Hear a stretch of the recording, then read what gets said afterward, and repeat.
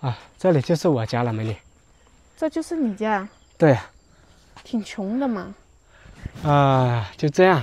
不过也没事啊，我是要求你上门的，不管你条件好不好，因为啊我家呢没有兄弟姐妹，我是要找一个上门的哦，你没有兄弟姐妹要我上门是吧？啊。你提什么要求我都会答应的。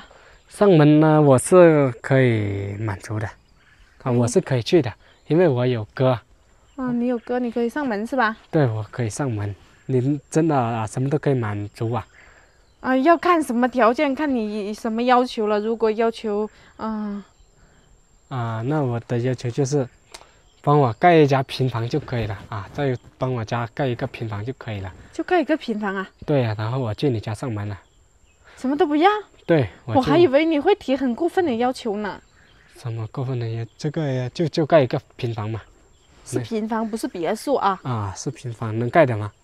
能盖啊。能盖那可以啊，那盖一个平房要多少钱左右啊？不知道哎。我看很多人盖可能二三十这样子，有很多人都盖一个两三层的，我家就盖一个十层的就行了。啊十层，啊啊啊，是一层哦，盖一层就行了。你把我吓到了。一 层一层，不好说错了，刚才就帮我家盖一个一层就行了。彩礼也不要啊？啊，不要彩礼？我是男生嘛，要不要什么彩礼是吧？要娶能娶老婆都很不错了，但是你这不是娶啊，你是去上门的，是上门也相当于娶嘛，是吧？有老婆就行了啊。啊，对，有老婆就行了，我去你家上门。我觉得这个要求可以，可以是吧？嗯，我和我爸妈都能接受。哦，那行，那帮我家盖了，然后我去你家上门，然后在你家呢，啊，我当牛做马都可以。那你干嘛不自己嗯赚钱，然后自己盖呢？哎呀，赚不了钱啊，这个年代太难挣钱了。我们上班，哎呀，一个月才两三千块钱，是吧？一一年都存不了两三万了，一万能存一万都很不错了，一年，是吧？要要盖个房子也得存十多十多年了，现在盖个房子都要十多万呢。我觉得可以，可以哈。嗯。那那走。吧，你还有什么疑问吗？我没什么疑问了。真的但是你去我家之后呢，什么都要听我爸妈听我的。啊？听你爸妈那肯定的，我知道啊。上门女婿一般都是要听老丈人、老丈母娘，嗯是吧？嗯、要不要去我家了解了解我家？啊，可以啊，走吧。那走啊，嗯。然后也顺便跟我爸妈商量给你盖房子的事啊。啊，可以啊、呵呵，去上门呐、你很喜欢上门吗？